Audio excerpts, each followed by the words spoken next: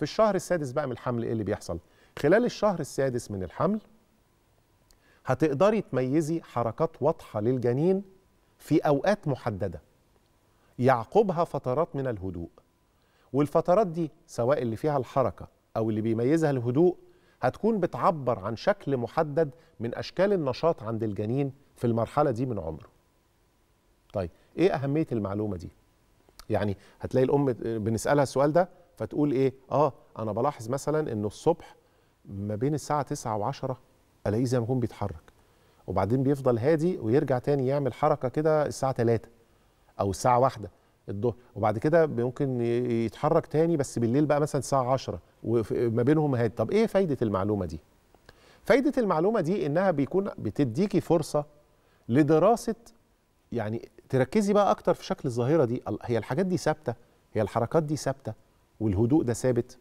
طيب لما بتركزي زي ما قلنا في الحاجات دي إيه اللي بيحصل؟ في الشهر في الشهر السادس من الحمل ممكن لما تركزي في الحاجات دي هتستفيدي منها بعد كده. يعني هتستفيدي منها بعد الولادة. هقول لك ليه. لأن ده هيكون نمط النشاط والهدوء اللي هيكون عليه الجنين في الوقت ده يعني غالبا هو اللي هيكون متكرر بعد كده في مرحلة ما بعد الولادة. وبالتالي بيكون عندك القدرة إلى حد كبير قوي إنك تعرفي أوقات استيقاظ ونشاط طفلك وكمان أوقات هدوءه أو نومه. يعني ببساطة ممكن تاخدي ال pat ال pattern ده أو ال patron ده أو يعني الشكل ده من الهدوء والحركة وتتوقعي إن ده ده اللي هيحصل بعد كده.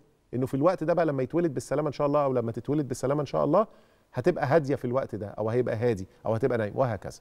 طبعا المعلومات دي هتساعدك جدا في ترتيب أمور في غاية الأهمية. على رأسها طبعا أوقات الرضاعة واللعب والنوم والغيار وهكذا.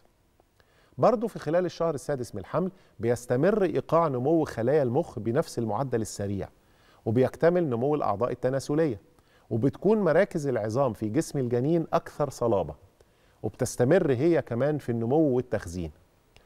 يعني في النمو العظام كمان بتستمر في تخزين الكالسيوم. أنا كنت عايز أقول تخزين الكالسيوم افتكرت إن أنا قلتها. تمام؟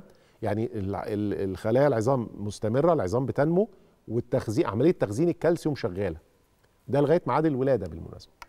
الجنين في الشهر ده هيبدأ كمان في تخزين بعض الدهون تحت الجلد فاكرين؟ وده اللي هيخلي بقى جلده أكثر مرونة مش هيبقى مجعد.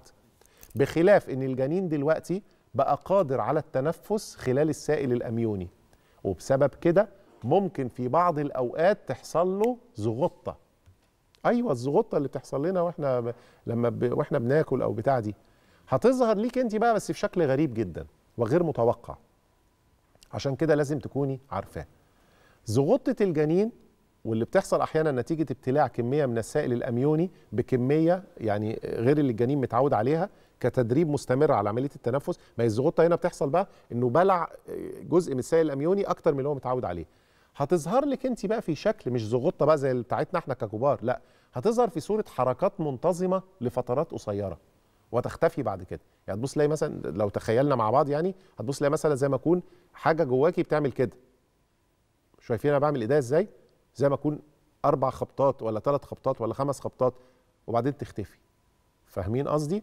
الحقيقة إن الحركات دي بتكون محيرة عند كتير من الأمهات لما تحصل لهم. وبيبقوا مش عارفين يقولوا إيه؟ هي دي مش انقباضات وده مش الحركة اللي إحنا متعودين عليها من الجنين اللي إحنا خلاص بقينا مركزين فيها ومتابعينها من الشهر الرابع. دي حاجة جديدة دي الزغطه فهمتوا قصدي؟ ال ال لما لما الأمهات يحسوا بيها أحيانا ما يقلقوش. وطبعا بعد ما شرحناها لكم أهو المفروض بقى إن أنت تطمني وتعرفي إن دي حاجة عارضة بتحصل لكل الأمهات خلال الفترة دي من الحمل وليها علاقة بتدريبات التنفس اللي بيمارسها الجنين. وزن وزن الجنين عند نهاية الشهر السادس من الحمل ممكن يوصل ل 700 جرام. ما شاء الله. وطوله ممكن يقارب 35 سنتي. ده في الشهر السادس. وطبعا انت كمان في الوقت ده زيادة وزنك بقى هتكون ملحوظة لأنها بتكون في حدود 5.5 كيلو إلى 6.8 من 10 كيلو جرام زيادة عن وزنك قبل الحمل. خلاص كده؟ يبقى عرفنا دلوقتي إيه اللي بيحصل خلال أول ثلاث شهور من الحمل. عرفنا إيه اللي بيحصل خلال تاني ثلاث شهور من الحمل يعني خلصنا الشهر السادس فاضل لنا إيه؟ فاضل لنا الشهر السابع والثامن والتاسع. هما دول فيهم جديد ده دول فيهم معلومات بقى جديدة جدا. حاجات بقى ما, ما كناش نتوقعها. هنطلع لفاصل ونرجع نستكمل الحلقة مع حضراتكم. يحكى أن ما زال متواصل خليكم معنا